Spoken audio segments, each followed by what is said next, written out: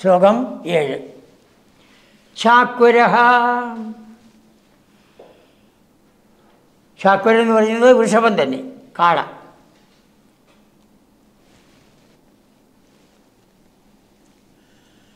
ജഗതീധൃതിഹാരി.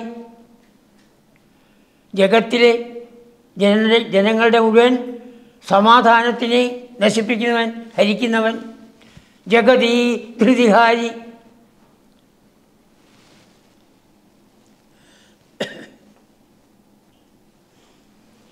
മൂർത്തിമേഷ ബൃഹതീം പ്രദധാന.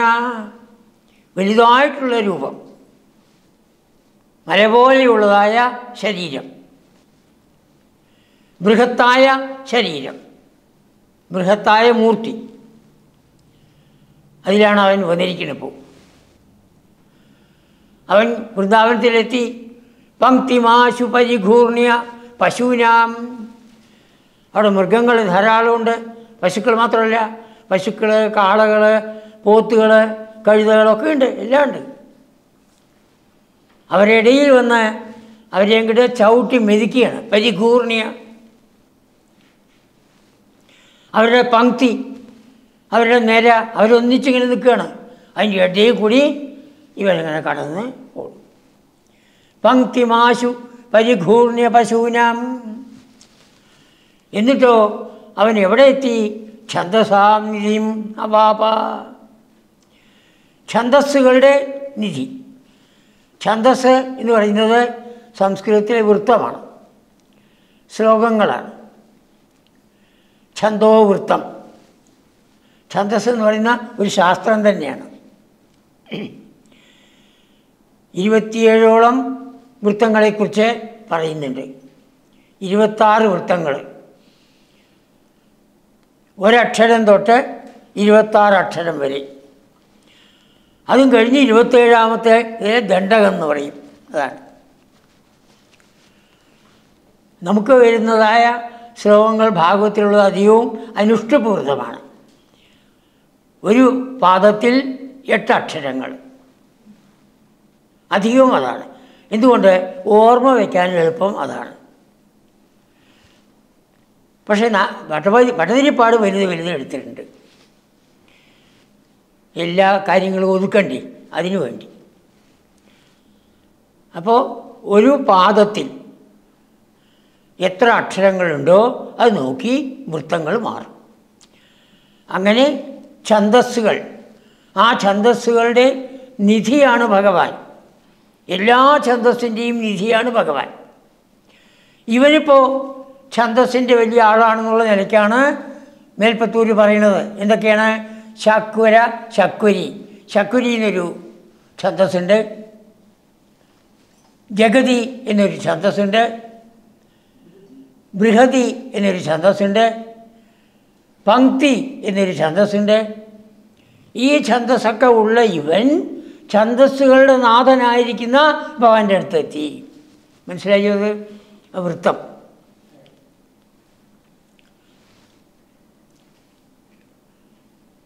പത്തിരുപത്തേഴോളം ഛന്ദസ്സുകൾ ഉള്ളത്. ഭഗവാൻ എല്ലാമാണ്. ഇവൻ നാലോ അഞ്ചെണ്ണം ഉണ്ട്. നാലോ അഞ്ചെണ്ണം മാത്രമുള്ളതായ ഇവൻ. ആ നാലോ അഞ്ചെണ്ണം ഒക്കെ അർത്ഥത്തോടുകൂടിയാണ് പറഞ്ഞിരിക്കുന്നത് ശാക്വരഹ. ശാക്വരഹ കാള വൃഷഭം കാള. അത് ശക്വരീ വൃത്തമാണ് ശാക്വര ജഗതീ. അത് വേറൊരു വൃത്തം. നമ്മളെ സംബന്ധിച്ച് ജഗത്ത്. ജഗത്തിന്റെ ധൃതി സമാധാനം. ആ സമാധാനത്തിനെ ഹാരി ഹരിക്കുന്നവൻ അർത്ഥം നോക്ക്. മൂർത്തിമേഷ ബൃഹതീം വലുതായ മൂർത്തി. ബൃഹത്ത് എന്ന് പറഞ്ഞ ഒരു ഛാന്തസ്. പങ്ക്തിം ആശു പശുക്കളുടെ കൂട്ടം. അതാണ് പങ്ക്തി. പക്ഷെ അതൊരു ഛാന്തസ്. അങ്ങനെ ശക്വരി ജഗതി ബൃഹതി പങ്ക്തി എന്നീ അല്പം ഛന്ദസ്സുകളുള്ള അവൻ ഛന്ദസ്സുകളുടെ നാഥനായിരിക്കുന്ന ഭഗവാന്റെ അടുത്തേക്ക് എത്തി എന്നർത്ഥം. ഛന്ദസാം നിധിം അവാവ ഭവന്തം.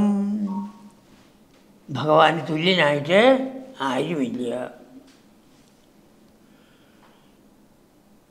ഒരു പടി കൂടി മുന്നോട്ട് പോയാൽ ഭഗവാൻ അല്ലാതെ ആരുമില്ല.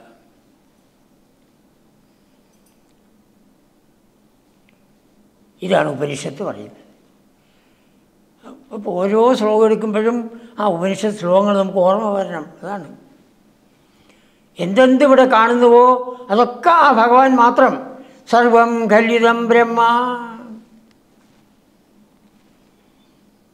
ഈ കാണുന്ന പ്രപഞ്ചത്തിൽ എന്തെല്ലാം കാണുന്നുണ്ടോ? ബ്രഹ്മം.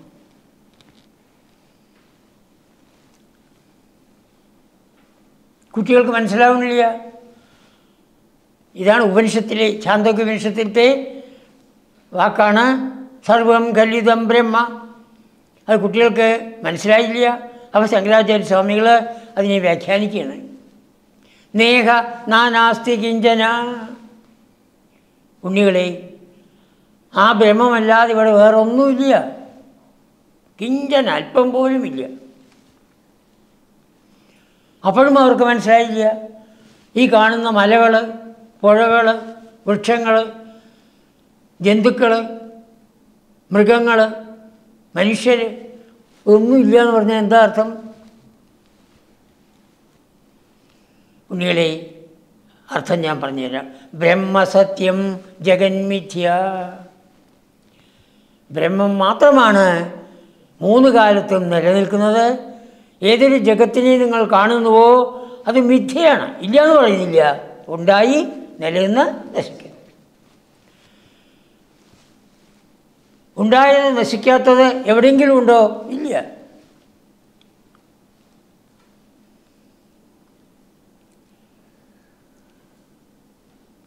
ചെന്നൈയിലെ അടയാർ ആ സ്ഥാനത്ത് വലിയൊരു ആൽവൃക്ഷം ഉണ്ടായിരുന്നു. ആ. ആയിരത്തി മുന്നൂറ് വർഷവും മറ്റും നിന്നു. പറഞ്ഞു.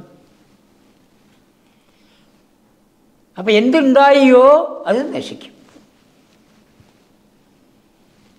ജാതസ്യ ഹി ധ്രുവോ മൃത്യു ജനിച്ചത് ഉണ്ടായതിന് നാശമുണ്ട്.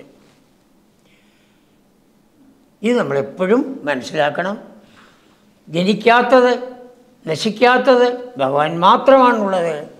അതാണ് ഛന്ദസാം ബാബ ഭവന്തം. അങ്ങനെയുള്ള ഭഗവാനെ അവൻ പ്രാപിച്ചു.